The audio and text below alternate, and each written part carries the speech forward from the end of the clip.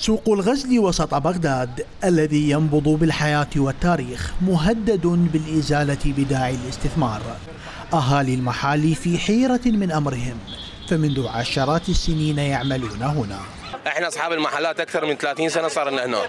هذا العقد مالتنا. ذاك يوم جابوا لنا كتاب مال إخلاء. هذا الكتاب إلى صادر من الأوقاف. أكو كتاب يصدر من الأوقاف هيك لا بيختم ولا مزور هذا يعتبر. وإحنا صار لنا أكثر من 30 سنة هنا. هاي محلاتنا. ذني المحلات هاي كلها كلها تراث. وحتى بالامانه كاتبين تراث. شلون يصير يطول الاستثمار؟ اليوم هذا سوق الغزل طلع مهدد. مهدد من قبل الميليشيات.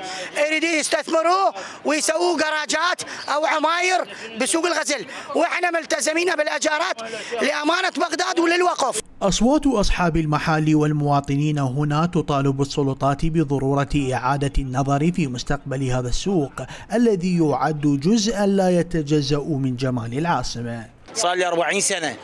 هاي المحل مال والدي وعايشين عليه 27 نفر. دا تفتهمني شلون ابن عمي يقول لي شيل من هذا المحل؟ يريدون يسوون محلات مال cosmetic.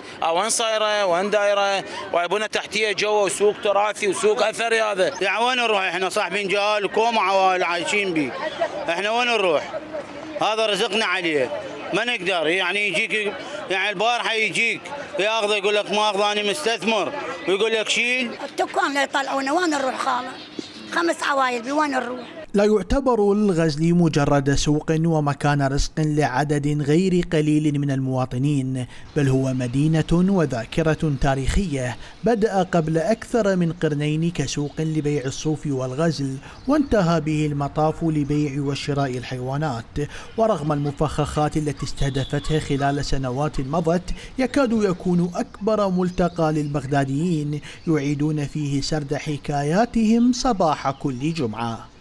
من بغداد علي عبد الكريم.